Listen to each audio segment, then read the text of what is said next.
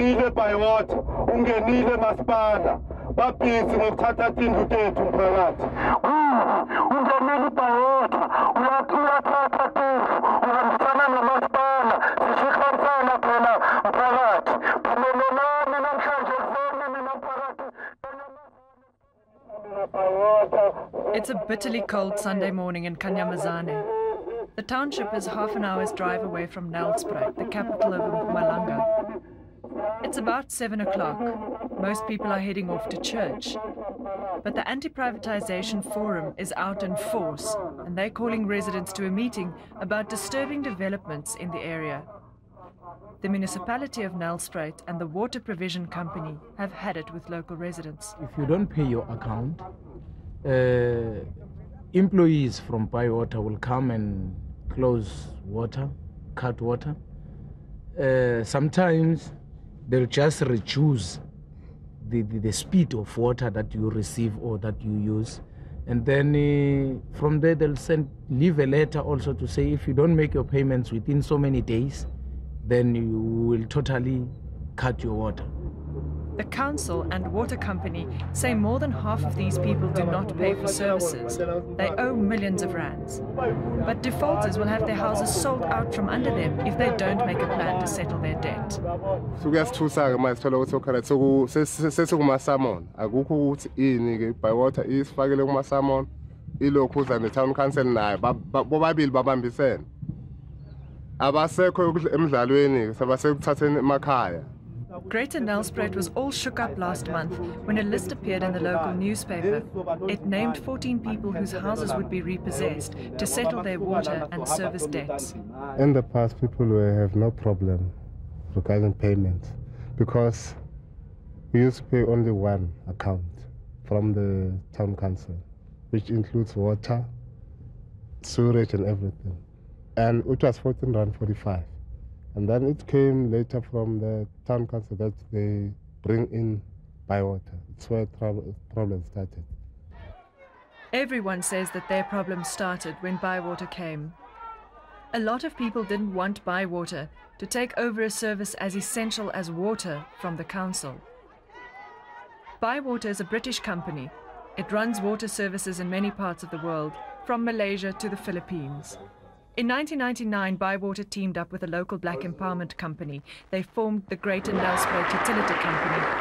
Locally, people call it GNUC. The deal was simple. GNUC would take over services from the Nelspruit municipality and rent their main water and sewage works. They'd bring water to the vast and very poor rural hinterland surrounding Greater Nelspruit.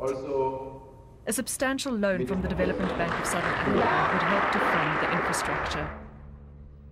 The 30 year concession was hailed as a pioneering model for the rest of water hungry South Africa.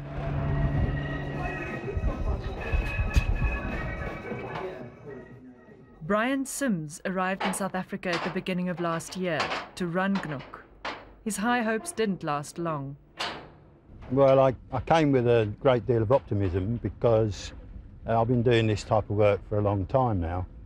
Uh, in other some third world countries, some first world countries. But I came here from the Philippines, where you have very, very wealthy people living alongside very poor people. The big challenge or the big change, the difference between here and elsewhere is that most people elsewhere do actually pay for services they receive, even, in, even when they're really poor. GNUC descended on households where water already flowed. There they installed meters. Other houses got water for the first time, it's then the people say that disaster befell them. Take what happened to the Gaba household. Everyone here lives on Granny Anat Gaba's pension. She says she supports eight children and grandchildren. None of them have jobs.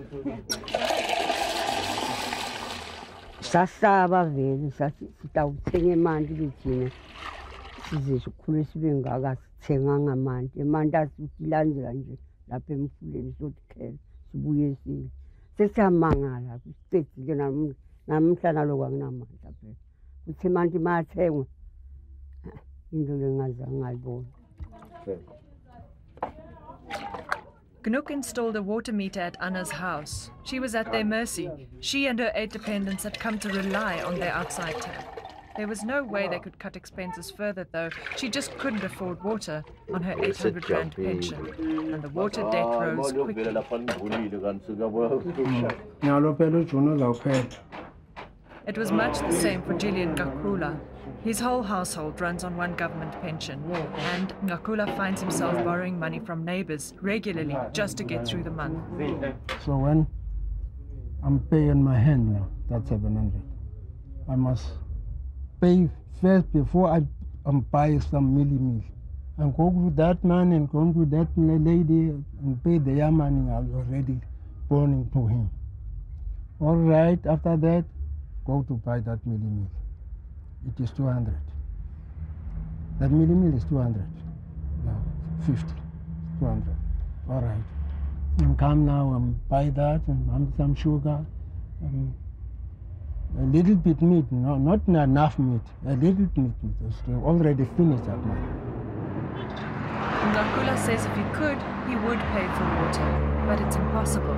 He's unemployed, as are half the residents of Greater Nelspruit. Even those who are employed are finding it impossible to budget for water, like Alson Nyati. He's worked on a government farm for 45 years. He takes home 1,800 rand after tax. He sends four children to school, pays rent and buys food. Transport is a major cost. Kanyamazane is about half an hour from Nelspruit. One bus ticket costs the family 200 rand per month. kubuhlungu angikhona ukusikhipha ngiyafuna ukuthi ngisikhiphe and four years no salary manje simile nje ndawonye mara siyasebenza. Kukhuphuka lithikithi likhuphukela mina. Yabona ngala sekushota kudla kwebantwana lesifika la ukuthi imanda yabhadala. Asingazi phela ukuthi imanda ayabhadalwa. Manje ke yokuthi vele ufuna imali lakithi faka and eh, liyagijima. Leyiphela inyanga ufuna imali lephezulu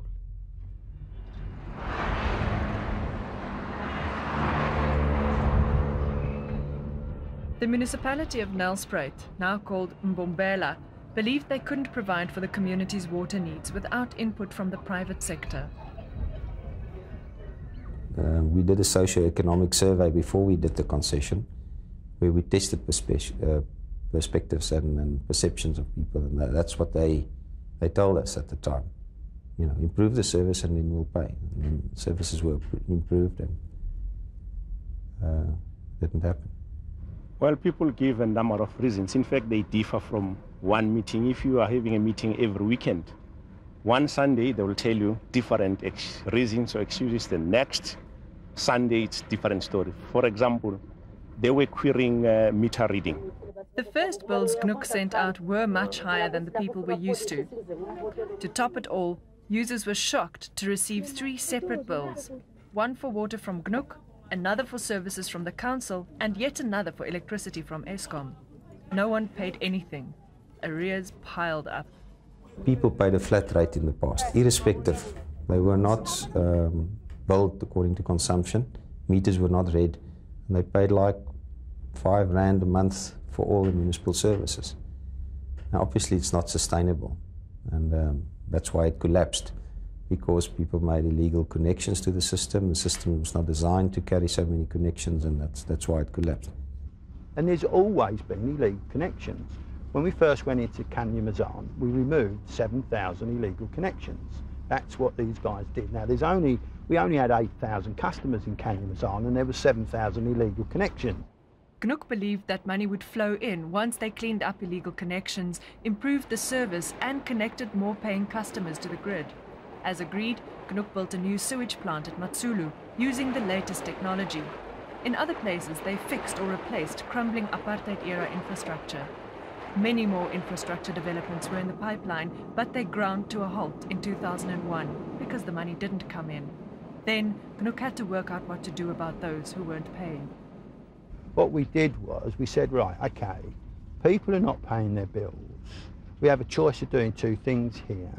We, we, we can restrict the flow to what we consider to be the basic level, and at the same time, we won't bother sending bills out because it seems pointless sending bills out where people haven't got to pay for the, for the supply.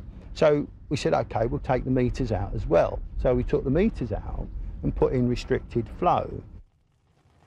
The restricted flow strategy was easily foiled.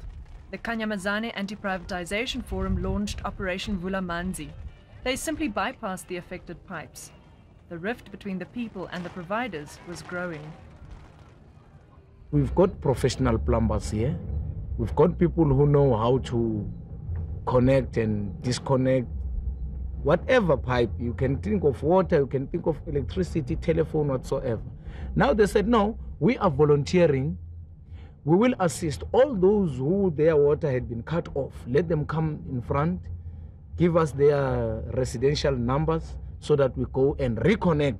And we found that we went round in this cyclical cycle. That As fast as we were removing the illegal connection, people were going back putting it in because they felt that the restricted volume of water was insufficient. And let's face it, they'd been used to a higher volume of water before the restrictions went in. Despite the fact they weren't paying for it, they'd actually got accustomed to a higher level. So we found it quite difficult to keep up with this cyclical arrangement. After five years of going in circles, Gnook is now in trouble.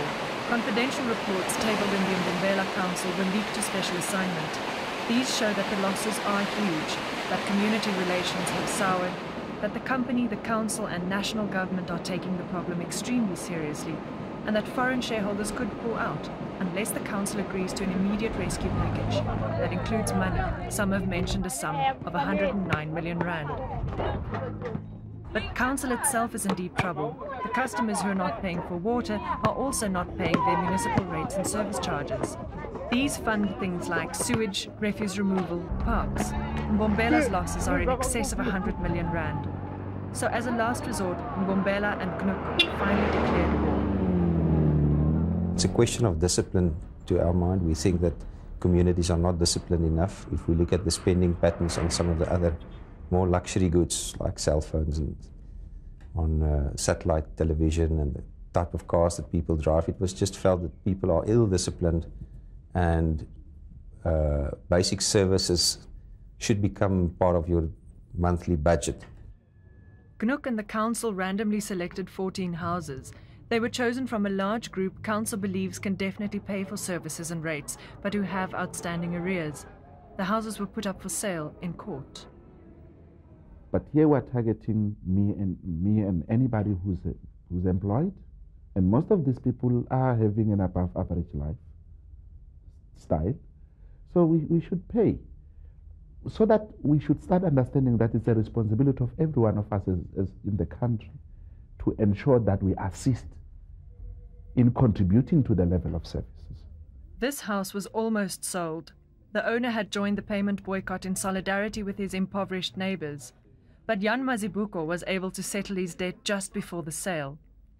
In this way, Council and the water company believe they'll break the stubborn cycle of non payment. We are naturally very upbeat and uh, have the appetite to go and recover the money.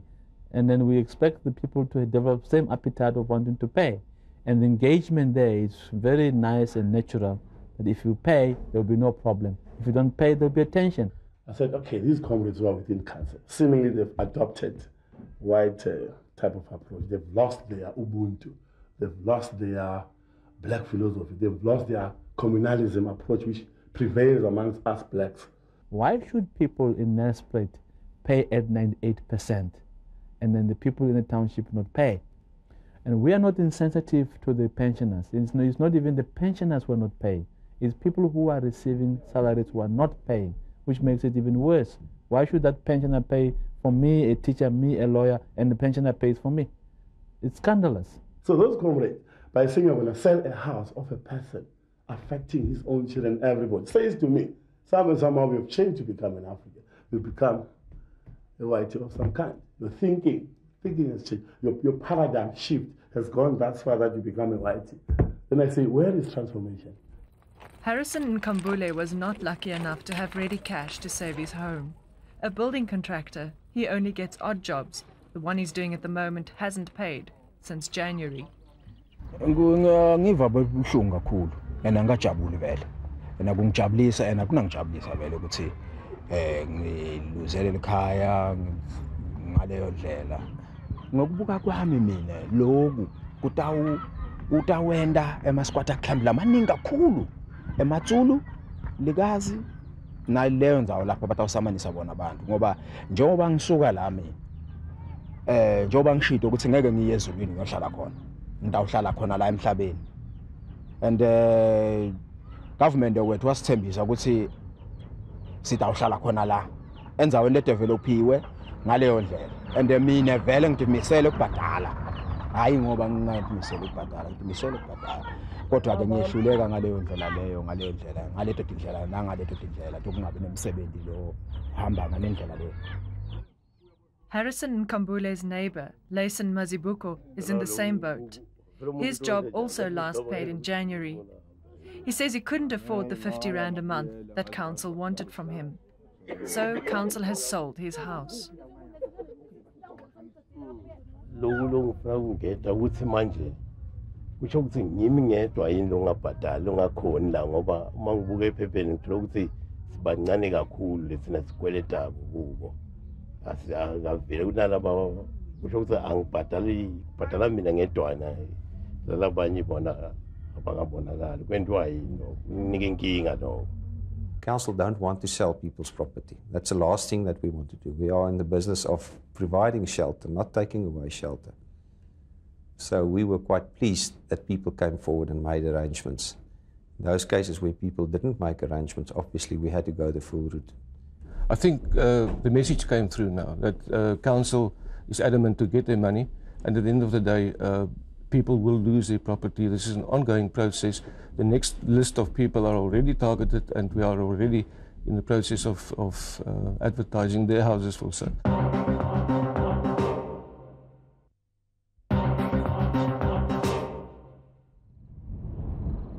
The dusty settlement of Tonga lies about an hour's drive away from Nelspruit towards Mozambique.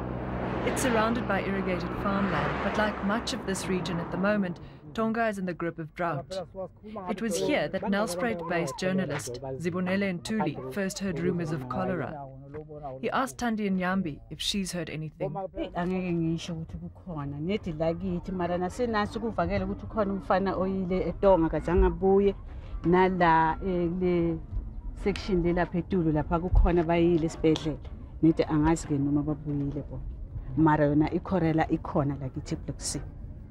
National government supplies water in Tonga.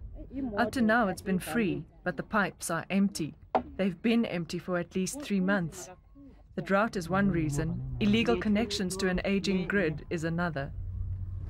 le kusho ukuthi two rand ya le two fifty le twenty rand You can pay a lot of money to have safe, clean water delivered by someone who has a car and can fetch it from reservoirs far away.